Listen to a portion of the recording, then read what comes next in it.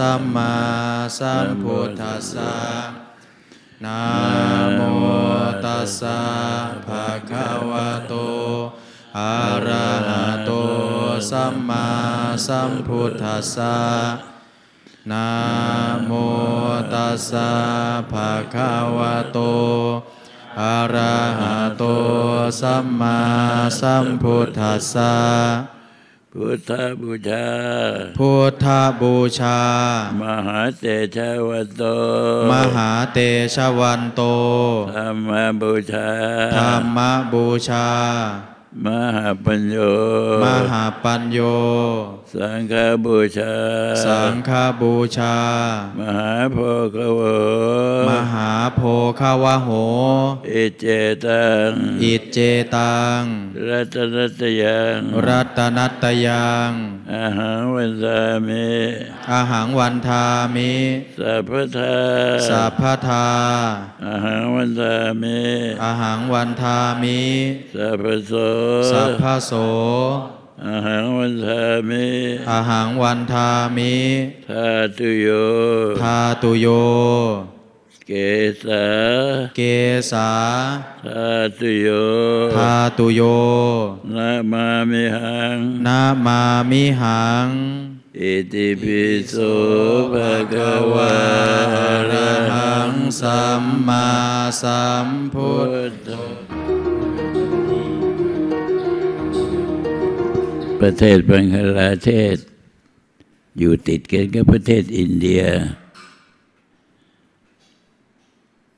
ปรากฏว่าเวลาบ่ายสามโมง เวลาบ่ายสามโมงเย็น ที่จิตตกง คณะไปรับพระธาตุสิบสองคน แล้วก็ญาติโยมทางบังคลาเทศจำนวนหนึ่ง ตั้งโต๊ะกลางกลางวัดโคตมาวิหาร ฝนเทลงมาทันที แต่ว่าเวลาที่ฝนเทลงมา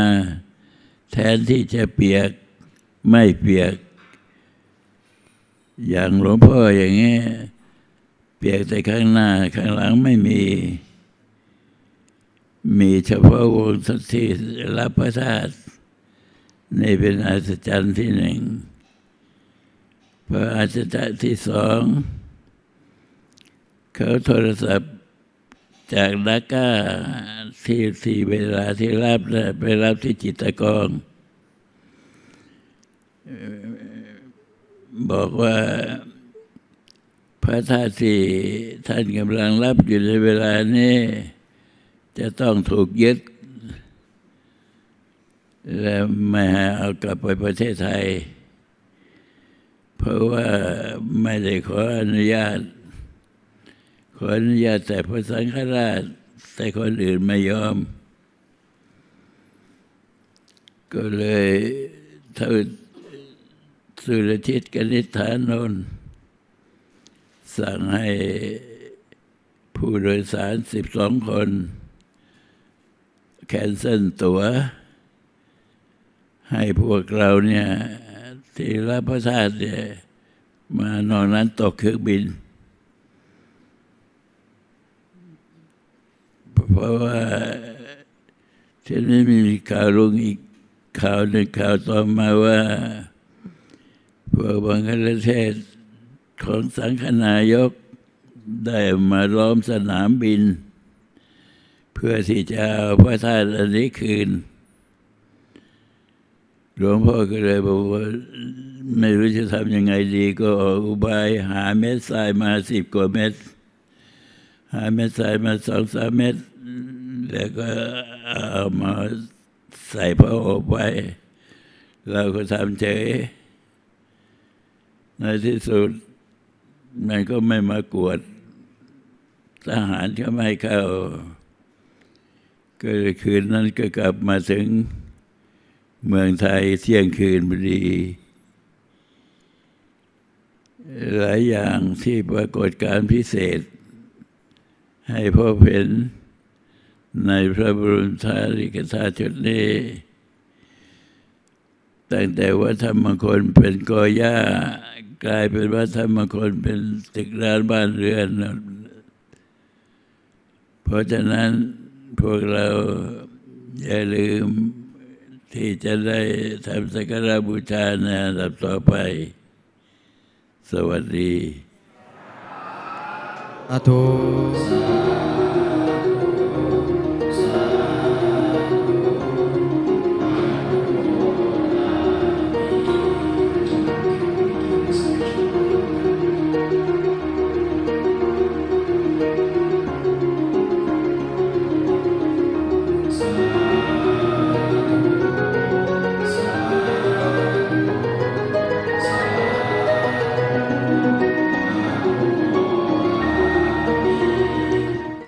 จึงได้เป็นเจดีย์ขึ้นมานี่เก้าปี แล้วก็เอาลิฟต์ทำเองตกไปทีหนึ่ง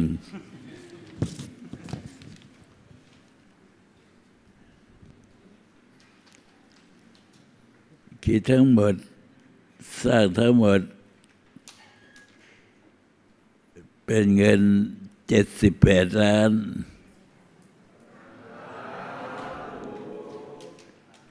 ฉะนั้นปูนซีเมนต์ถุงหนึ่งสิบสิบสองตันหนึ่งเท่าไรไม่รู้ นึกไม่ออกฮะหรือมันจะเป็นสตันละยี่สิบบาทละ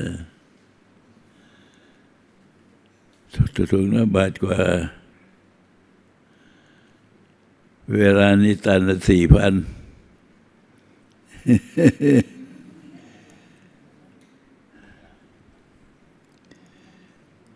ไม่มีเครื่องจักรสักตัวใช้มือหมดเลย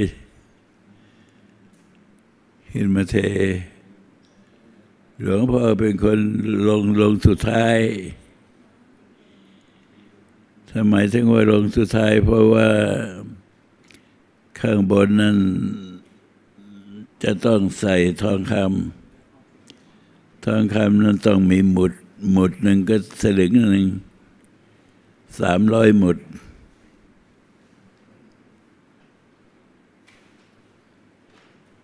อย่างเป็นเดี๋ยวถ้าใครไม่ซื้อแล้วขโมยเอาไปน็อตเล่มหนึ่งก็หมดไปสลึงหนึ่งนั่งอยู่บนยอดตั้งแต่ชั้นเช้าชั้นเช้าชั้นเย็นเลยลงมาตัวตากแดดนะ ตัว แห้งร่างกายดำไปเลย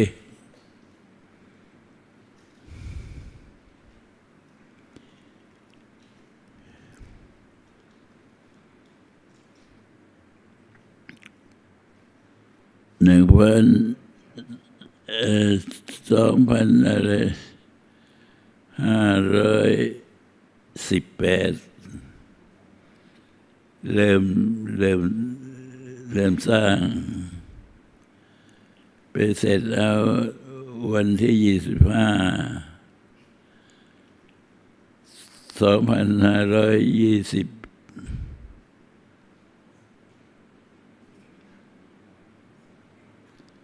ยี่สิบกว่าจะไม่ได้ ใช้เวลาสิบปี เป็นช่างเป็นอินเนียร์เองเสร็จ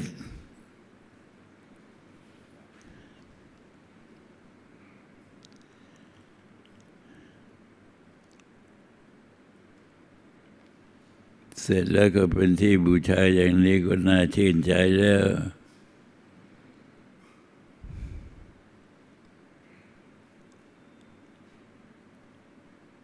สวัสดี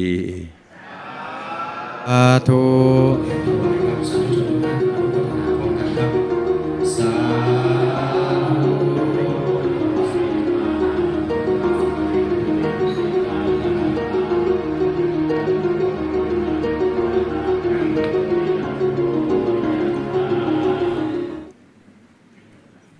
ยอดเจดีย์ถึงสามร้อยไหม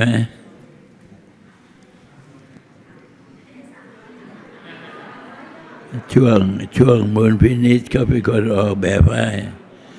ว่าหลวงพ่อต้องการภูเขาสามร้อยยอดมาไว้นี่ ไม่รู้ถึงหรือเปล่า เสียงไหม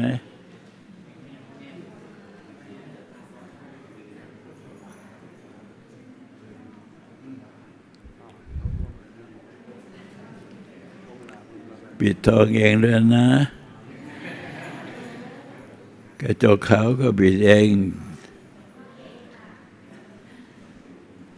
หมอก็จะปิดบทบอกว่า เหลือไว้ให้ก็ดูหลวงพ่อหน่อย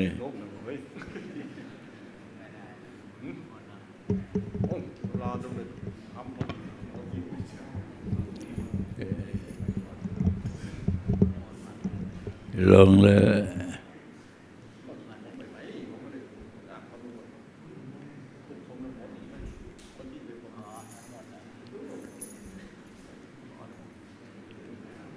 เป็นเจดีย์ขึ้นมาได้ เอาใส่มาจากแม่น้ำมาก่อเข้าก่อเข้าเป็นเจดีย์จนได้ เราได้ว่าได้กราบหลวงพ่อก็ได้บุญด้วย ใช้เดียวใช้แรง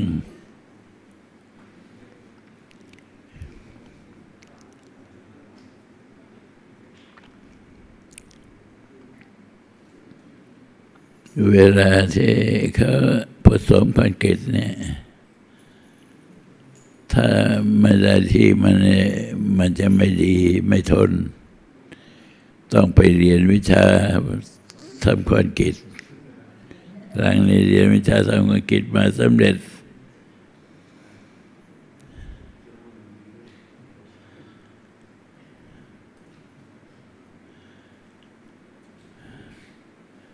læreren kunne